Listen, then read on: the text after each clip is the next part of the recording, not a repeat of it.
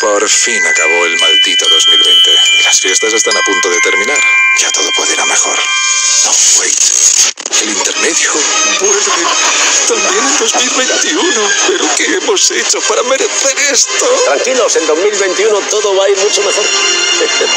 Este lunes a las nueve y media en La Sexta. Suena preocupante.